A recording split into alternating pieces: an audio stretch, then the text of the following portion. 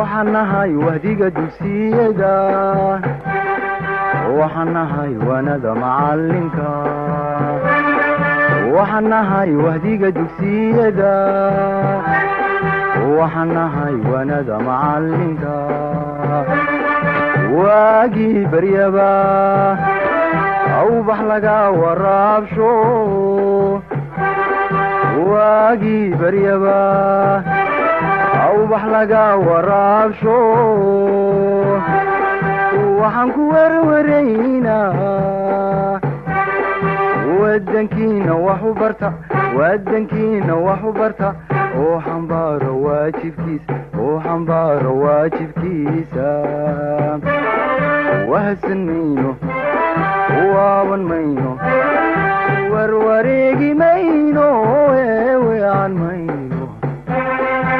wahadsan mayno waaban mayno warwareegi mayno eewean mayno waayo bismi illahi raxmaan raxiim waa barnaamijkeennii ka bara hawada. Aad ka daawan jirteen t v-ga qaranka jamhuuriyadda somalilan kana dhegaysan jirteen idaacadda jamhuuriyadda somalilan.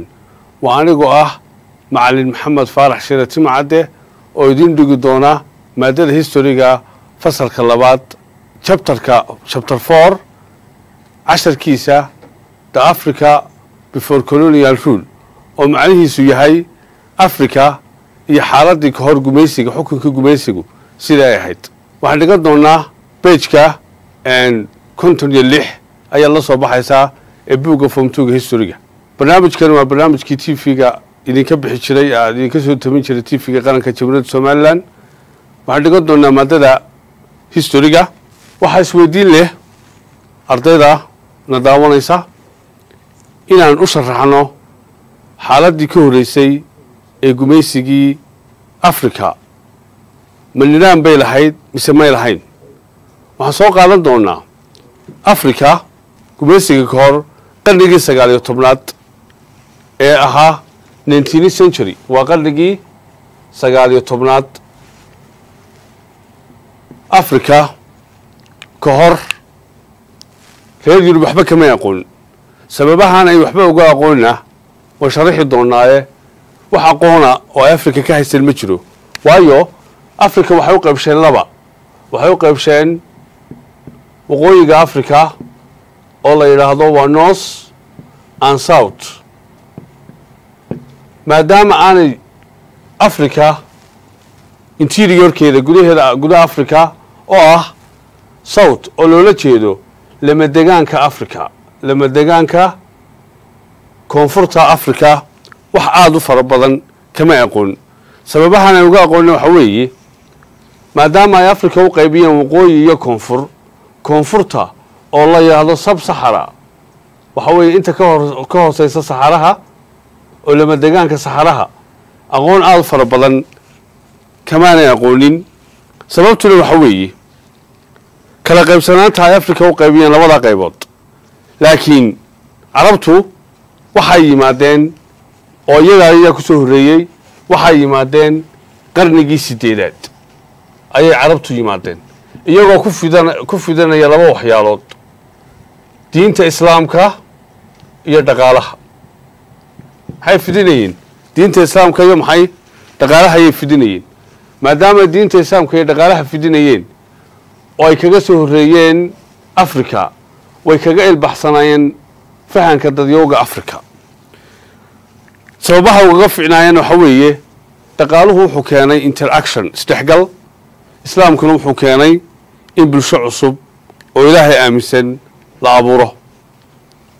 Haddaba africa meelihii ay africa meelihii ay ku fidiyeen dhaqaalaha diinta islaamka iyo dhaqaalaha waxay ahaayeen waqooyiga africa iyo bariga africa waan ku soo qaadanay chapterkeennii chapter tree ayaan ku soo qaadanay.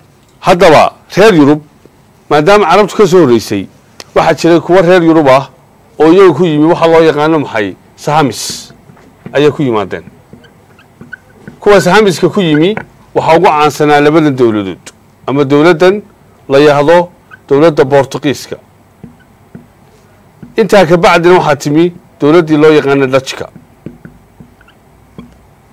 dowladda dhajku gumaysi ayay ka samaysay qaybta qaaradda africa ee koonfurta oo la yidhaahdo ayay gumaysi ka sameeyeen sannaddii loo yaqaanay kun shan boqol iyo labiyo lixdankii. Oo isku khaldi maysid ma bortugiiskaa gumaysta geeska africa geeska rajada wanaagsan.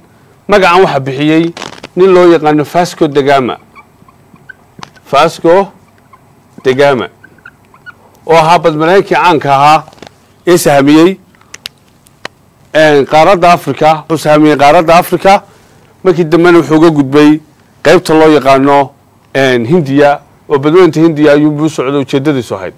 Maadaama magacaa bixiyey daj baa gumaystay ama dowladda holland. Haddaba qaybta koonfureed ee la yidhaahdo geeska rajada wanaagsan waxaa degi jiray laba dad laba qabiil oo la yidhahdo saan iyo qabiilka la yidhaahdo khookhay saan aan khookhay labadaasaa degi jiray. Markii ay isguursadeen dajka iyo baantuugii halka ku noolaa waxay kala dhaleen dad loo yaqaano boolis dad la yidhahdo boolis ayay kala dhaleen. Oo koonfurta africa waxaa ku nool dad saddex dad dadka loo yaqaano britishka booliska oo ay iska dhaleen dajka iyo afrikaanku iyo qolada loo yaqaano baantuuga saddexdaasaa ku nool. Waxaan markaa soo qaadan doonnaa haddii ilaha yidhaahdo aan ku xejin doonnaa kuwii ugu caansanaa yimi oo bortugiiska iyo dajka baynu nidhi dajku wuxuu sii gumaystay geeska rajada wanaagsan ee u bixiyey fasco degama haddaba africa maxaa sababay inay reer yurub aanay aqoon badan u lahayn waxaa sababay saddexda qodob ee soo socda. Iyadoo aanay jirin wax loo yaqaano gaadiid muu jirin. Waxa aada iyo aada ugu adkaatay waxa loo yaqaano maxay? Waxa aan jirin iyadoo aanay jirin gaadiid. Waa qodobka koowaad. Qodobka labaad waxaa ka mid ah iyadoo ay ku adkaatay xaaladda deegaanka dabiiciga ah.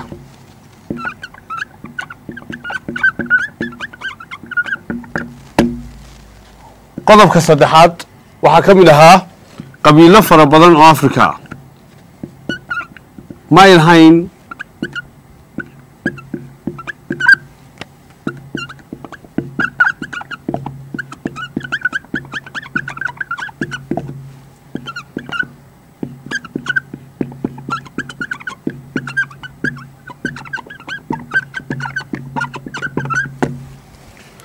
saddexdaa qodob baa ka mid ah. Saddexdaa qodobi.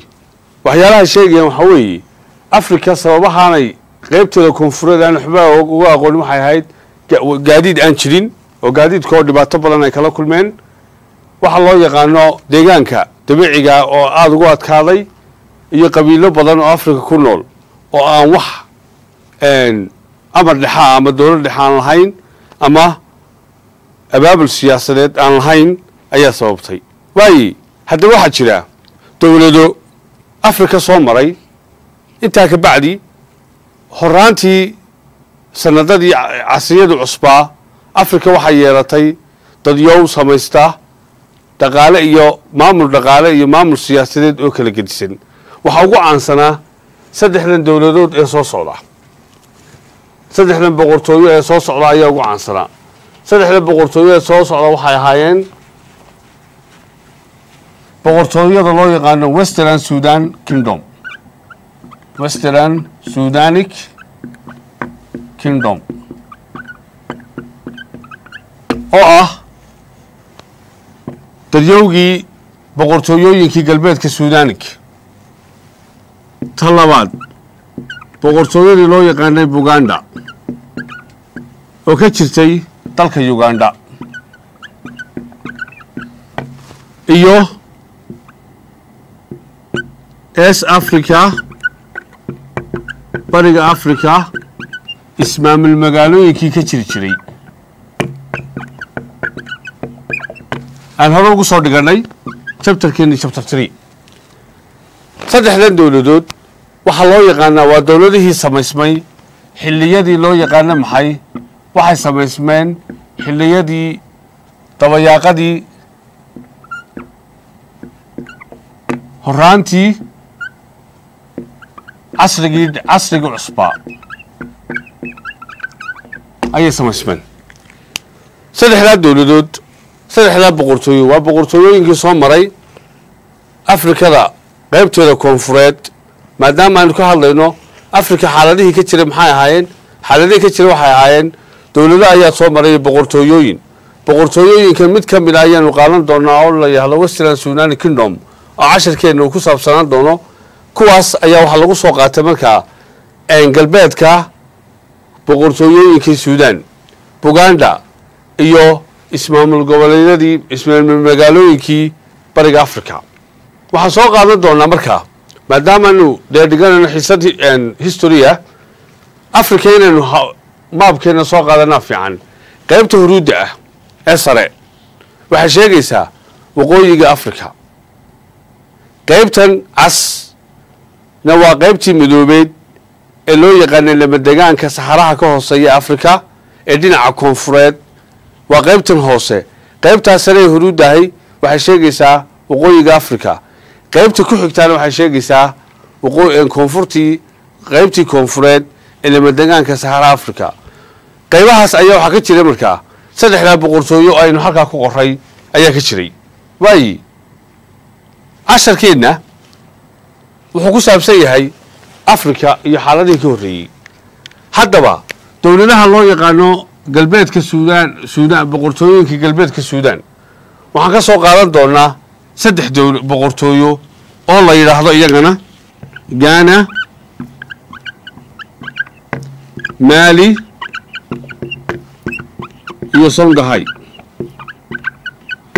saddexdaa boqortooyooyin waxaa loo yaqaanaa boqortooyooyinkii loo yaqaanay casrigii dhexe. Waa maxay? Waa boqortooyooyinkii loo yaqaano maxay? Kuwii casriga dhexe.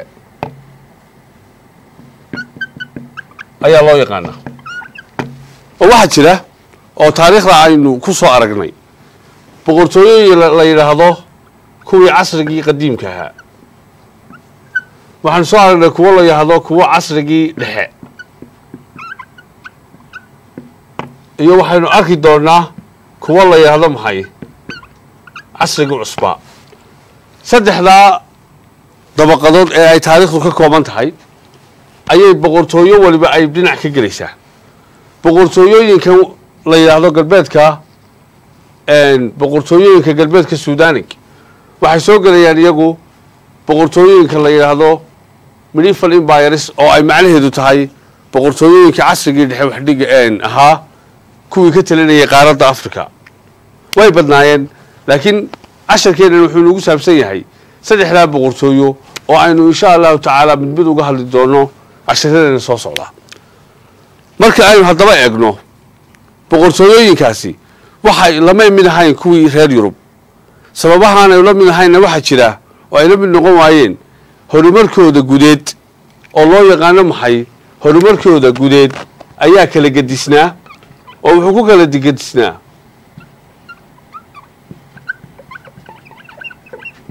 horumarkeeda gudeed baa kala gedisnaa. Maadaamuu kala gedisan yahay waxaa dhacaysa waxa loo yaqaano maxay? Waxaa dhacaysa waxa loo yaqaano in ay dowladka qaarad kastiba ilaa yurub iyo africa markaynu ka hadlayno reer yurub waxyaabahay sameeyeen waxaa ka mid ah dee boqortooyooyin bay lahaayeen. Boqortooyooyinkeena iyo kuwii africa isku mid noqon maayaan dhinaca horumarka. Sababaha inuu isku midka u noqona waxaa jira mid waliba waxay lahayd duruufo u gaar ah. Waxaynu kala saari doonaa oo casharkeennu uu inoo kala saarayaa maadaama aynu dowladaha ku sheegnay dowladihii loo yaqaanay dowladihii casrigii dhexe iyo waktigii dhexe. Kuwa loo yaqaana qadiimka maxaa ka mid ahaa ee africa waxaa ka mid ahaa dowladdii masa masaaridii hore qeybteedii cusbeyd ee loo yaqaanay boqortooyadii cusbeyd ayaa waxay la jaan qaadi doontaa boqortooyada cusubi. Waxa loo yaqaano maxay? Waxay la jaan qaadaysaa qeybta qadiimka ee taariikhda. Waxaa kaloo ka mid ah qeybtii loo yaqaanay kushitiga. Dadkii kushitiga loo yaqaanay boqortooyada lahayn waxaa ka mid a boqortooyadii loo yaqaano meru. Waxaa ka mid a boqortooyo loo yaqaanay aksum boqortooyadii kushitiga waxaa ka jirtay suudaanta sare. Boqortooyada mayru waxaa ka jirtay suudaan iyana qolada loo yaqaano aksumna waxaa ka jirtay dalka loo yaqaano etoobiya ayay ka jirtay. Dalka etoobiya ayay ka jirtay. Maadaama aynu kala saaray qoladii casrigii dhexe loo yaqaanay medieval empireska iyo qoladii casrigii qadiimka ahaa waxaa la odhanayaa kuwana waxaa la odhanaya kuwii qadiimka ahaa kuwana waxaa la odhanayaa kuwii maxay kuwii casriga ahaa waxaa la odhanayaa waa kuwii dhexe iyo kuwii qadiimka ahaa. Waxaa isweydiinaya su'aal. Ardayey su'aasha isweydiinta le waxaa ka mid ah ama daawadayaal waxaa ka mid ah masar maxaad macalin ugu soo dartay qaybta qadiimka ah? Waxaa lagu soo darayaa masar waxay soo martay saddex xadaaradood xadaaradahay soo martay waxaa ka mid ah dalka loo yaqaano egypt. Waxay soo martay boqortooyo loo yaqaano boqortooyadii duugga ahayd ama gabowday oo loo yaqaano boqortooyadii gabowday. Ta labaadna waxaa loo yaqaanaa boqortooyadii dhexe.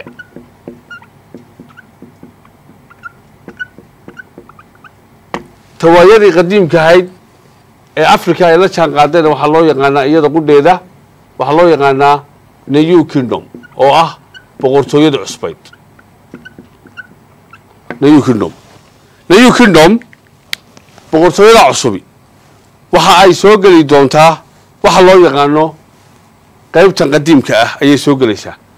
Qaybta madhiifalka ah ama dowladaha dhexena waxaa soo gelaya waa gaana iyo maali iyo songahay si aynaan isugu khaldin. Boqortooyooyinkaas aynu ka sheekeynana lahayn waa kuwa qadiimka ah. Waxay la jaan iyaguna boqortooyooyin yurub ka jira oo la yidhaahdo boqortooyadii roomaanka.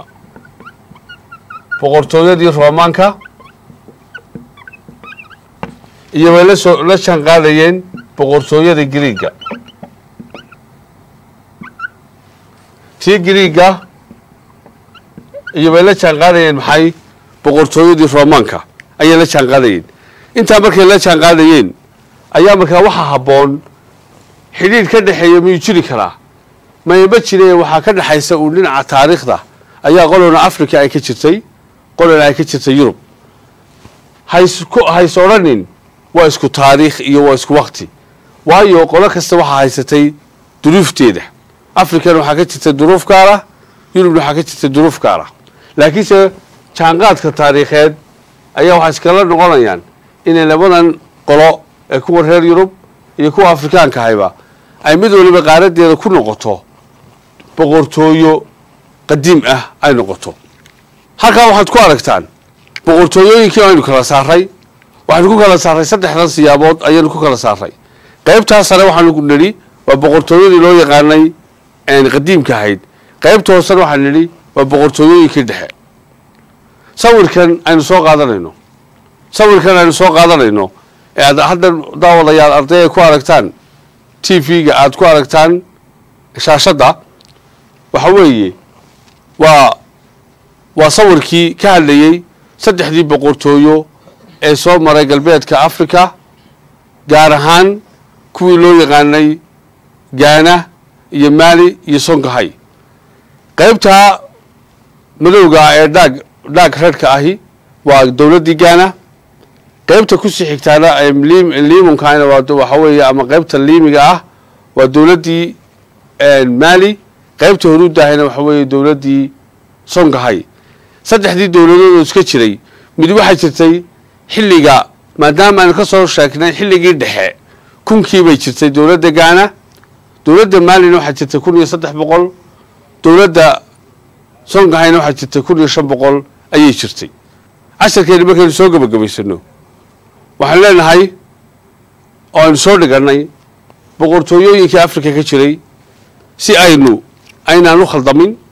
Boqortooyooyinkii africa ka jiray gaar ahaan qaybteeda koonfurta ee aanay reer yurub waxba ka aqoonin waxaa ugu horreeya kow dowladda gaana waxaa ku xiga laba dowladda maali waxaa ku xiga saddex dowladda gaana saddexdaa dowladood ayaa waxaa la isku yidhaahdaa dowladaha boqortooyooyinka galbeedka africa ayaa la isku yidhahdaa oo casharkeenna wax halkaaynu ka hadlayno inaynu isfahanno ayaa muhiimsan. Boqortooyo kasta dhigan mayno laakiin saddexda boqortooyo aanu ku soo qaadanayno cashirkeennan waa boqortooyada gaana boqortooyada mali iyo boqortooyada songahay oo aynu mid walba mid walba u soo qaadanayno mid walba aynu u soo qaadanayno casr midhmidh ayaan u qaadaan dhigi doonaa haddii ilaahay yidhaahdo gaana xilligeeda maalina xilligeeda songahayna xilligeeda waayi sidaa daraaddeed waxaynu kaloo soo qaadanay oo aan cashar ku soo gabagabanaynaa dowladihii ay la jaanqaad ay ka horreeyey iyaga. Waxay ahayd dowladdii masaarida dowladdii kushitiga dowladdii meru iyo dowladdii aksum. Waxaan casharkeenna ku soo gabagabanaynaa africa taariikhdeeda ka horreysay gumaysiga boqortooyooyinkii ka jiray iyo kuwii xilligooda jiray waxay ku kala gadisnaayeen waxa loo yaqaano maxay duruufo gaar ah. Oo africa duruufo gaara ayaa ka jiray. Reer yurubna waxba aada ugumay aqoon. Waxay aada uga aqoon waayeen gaadiidna may lahayn. Cimilada waxa loo yaqaano waxaa ku badnaa waxa loo yaqaano deegaanka dabiiciga aha mid adag buu ahaa. Qabiiladii africa ku noolaa qaybteeda koonfureed wax may lahayn. Dowlad dhexaa ta saddexaada lagu sii daraya waxay tahay maadaama aynu soo dhiganay africa waxyaabaha xadiday in la ogaan waayo waxaa ka mid ah. Africa waxaa aada ugu fara badnaa waxa loo yaqaano kaneecada. Kaneecaduna waxay keentay xanuunka loo yaqaano duumada maadaama ay reer yurub aqoon badan u lahaayeen kaneecada iyo duumada. Way iska ilaalinayeen inay gudihii africa sii galaan. Marka waxay ku ekaayeen dhinaca xeebaha oo waxay joogeen costal costal lanka ayay joogeen. Costal lanka may dhaafi karayn waxyaabaha u dhaafi karayn waxaa ka mid ah dadkan iyo xaaladahooda iyo dalka oogada may fahamsanayn oo waxaa laysku haystaa maadaama ay xeebihii joogaan waa inay xidhiidna la yeeshaan dhinacii oogada waxaanay ula yeelanayn sababihii waataynu soo sheegnay. Waa barnaamijkii ka bado hawada ee aad ka daawan jirteen ardayay t v-ga qaranka jamhuuriyadda somalilan kana dhegaysan jirteen idaacadda jamhuuriyadda somalilan waa anigoo ah macalin maxamed faarax shire macallinka historiga idin dhigi doona oo idin leh xiisaddii qaybteennii hore. Xaggaasay nugu joogtaa. Wasalaamu calaykum waraxmat ullaahi wabarakaatu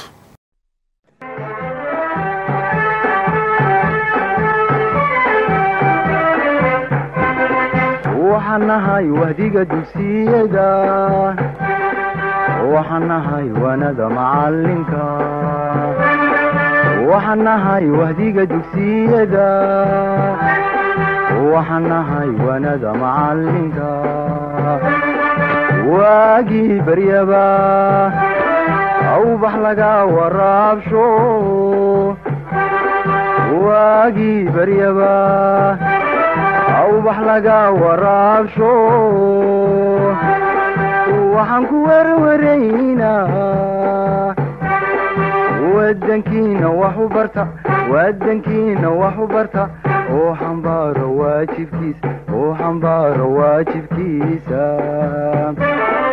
wahadsan mayno waaban mayno warwareegi mayno eewean mayno